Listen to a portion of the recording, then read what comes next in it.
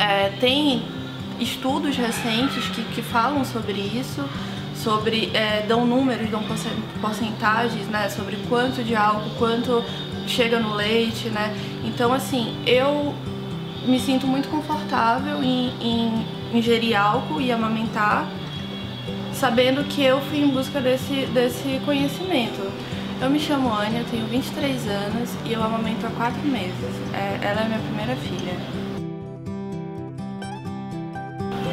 Eu nunca tive problema na rua, né? Eu acho que eu tenho um pouco mais na família, no caso. Tipo, na rua a gente percebe olhares, né? A gente percebe as pessoas olhando de forma estranha, né? Te, te olhando com forma assim, tipo, nossa, essa mãe é meio irresponsável, meio imprudente.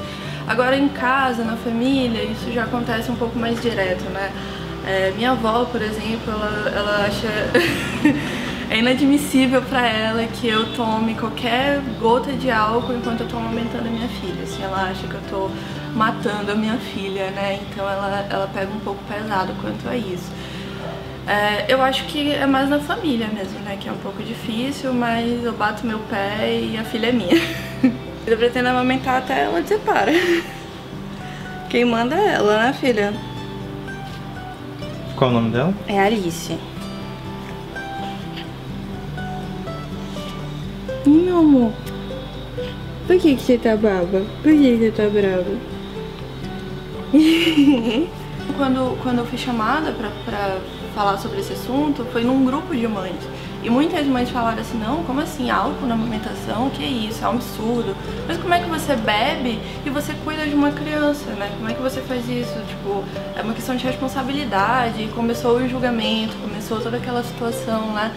Então, é, de fato, é, é um pouco mais complicado, assim, com, com, com mulheres mães, né, infelizmente. Ei!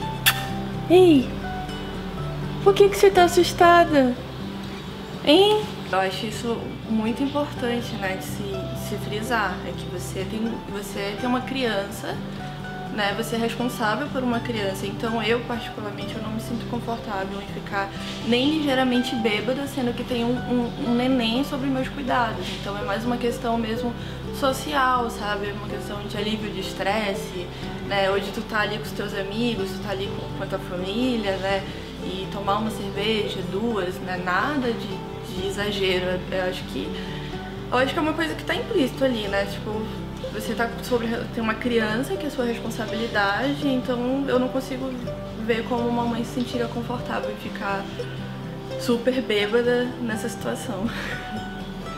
Eu ainda tinha receio, porque né, as pessoas falavam que era errado, então isso ainda pesava muito em mim. E aí ele já, já falava assim, mas o que, que falta pra você? Você já tem todas as informações que você precisa, bebe, pelo amor de Deus. Então ele é bem, ele é bem tranquilo quanto a isso, né? Ele acha que na verdade é o melhor, assim, pra, pra aguentar tudo isso, né? De forma mais leve, de forma mais tranquila. O conselho que eu dou é informação.